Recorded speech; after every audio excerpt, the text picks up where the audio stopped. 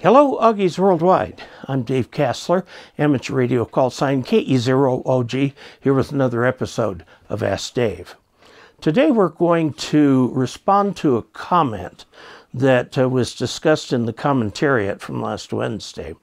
Somebody suggested that since I had taken the ARRL end-fed half wave, which covers 40, 20, 15, and 10, that I and we then in another video extended it to 80 meters and then showed that you could by putting a little capacitor in the middle bring that 80 meters up to 75 meters. Okay, so um, the suggestion was this. I only tested it on the so-called old amateur bands of 80, 40, 15, uh, 20, and 10.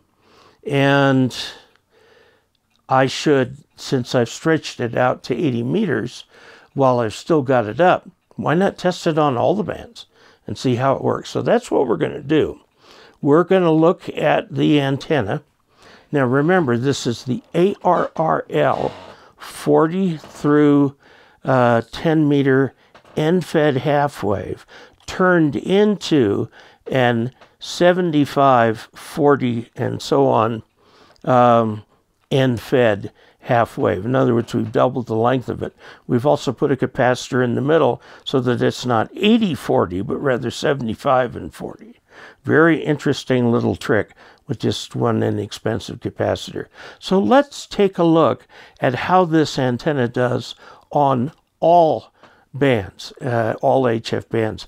I think you will be very surprised at how well it does. Now, mind you, these end-fed half waves don't give you a one-to-one SWR. You're lucky to get 1.6 to 1, uh, and you might even be looking at 2 to 1 or 2.5 to 1. However, most modern radios have a built-in antenna tuner that will handle up to 3 to 1. So you should be able to turn on the tuner on your radio and get this down uh, to one to one within all of the bands that I'm going to talk about, with the exception of 60 meters, and I'll show you why. Before we jump into taking a look at the SWR meter and seeing what we have on all the different bands, I want to say a special thank you to a user Fahrney, F-A-H-R-N-E-Y, who is one of my recent patrons. Thank you very much for supporting this channel. You too can support this channel by becoming a patron through patreon.com slash KE0OG. Now let's take a look at those charts. So we'll turn this thing on. All right, and it's going to do SWR charts.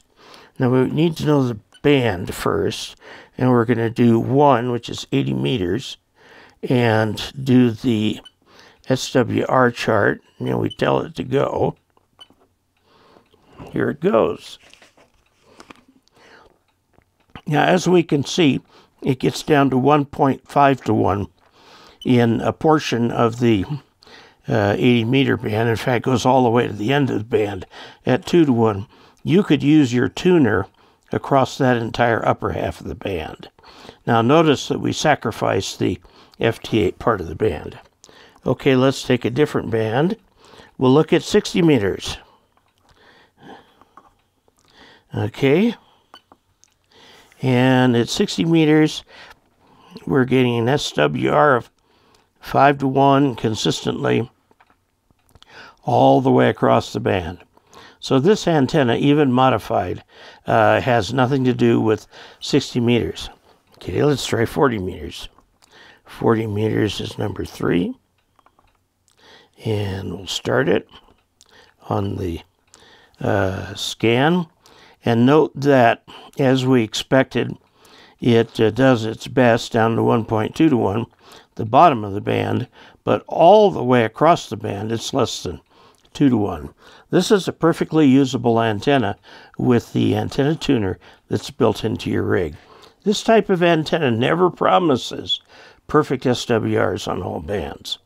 Okay, now that was 40. Let's try 30, which is bin number four. Okay, now look at this. it is about 1.7 to 1 all the way across the band, real nice and flat. This is well within what your transceiver with the built-in tuner can tune. And of course, if you have an external tuner, you can do just fine on this. Okay, so let's go now from 30 to 20. And on 20, we're expecting goodness. Enters the band at 1.5 to 1. Comes down a little bit.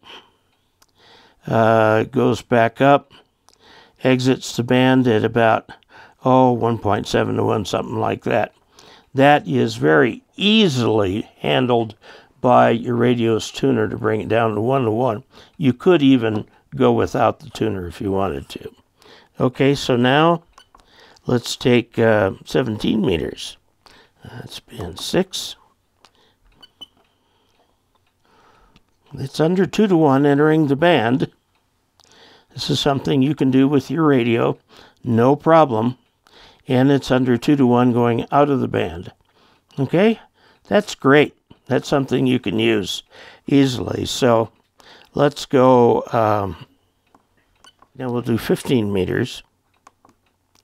And now it enters at somewhat above 2 to 1, but it's less than 3 to 1. Okay, and this will work across the entire band. Now the only thing we can tune on this is the length and that little capacitor up there.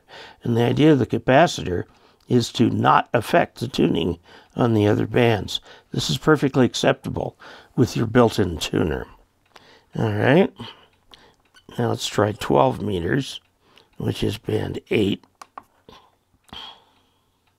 Well, you're at 2 to 1. Looks like it's going to be 2 to 1 across the band. It's not the world's best, but with the antenna tuner in your radio, it will work just fine. Okay, and now we'll do 10 meters, just 9. Okay, it's a little high at the beginning. If you use a tuner in your radio, you can still go um, all the way down to the bottom of the band and all the way up to the end. Uh, it peaks in the part of the band that's used mostly in FM, but uh, it's still good enough down over here. Okay, since we've got it up, why don't we try 6 meters? It's function plus 0. This is 6 meters. The thing is not intended for 6 meters. Uh, it's from 2 to 1. Oh, it's going to go down. Okay, here it is. And then it goes up. All right, but it's under 3 to 1 across the entire band.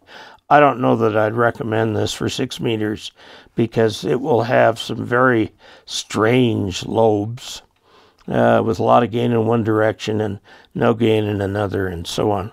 And since it happens to be on here, let's do two meters. And I don't think you're going to get very far with this. Oh, look at that. Now, this is a weird pattern. And uh, wow, look at that. A double null. Well, you can use it on part of two meters, but again, the uh, the azimuthal pattern of this is going to be really, really weird. So there you have the various readings that are available on the SWR meter. Now, you'll note that the one HF band that didn't do well was 60 meters. 60 meters does not have a nice, neat harmonic relationship to 80 meters. Now, the 80, 40, 20, 15, 10 are all nice harmonic relationships. Uh, 30, uh, 60, 30, uh, 17, and 12 are not. Now, as it turns out, it just doesn't perform at all on the 60 meter band. It's got an SWR 5 to 1 across the band. Now, can you take that out with the wide range tuner? Yeah, but you might be better off with something a little bit better tuned for that. None of the uh, vertical band, uh, vertical antennas, multiband vertical antennas that are sold cover 60 meters that I know of.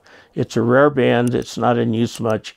A lot of people who do it put up a dipole special for it uh, to make that work. Now, 30 meters is more of um, odd, odd uh, overtone of uh, 80 meters. So we get fairly decent results on 30 and on 12 and 17. Now, we don't get those on the 40 meter version of the uh, end-fed half wave. So you do pick up a little something by extending it if you have the room.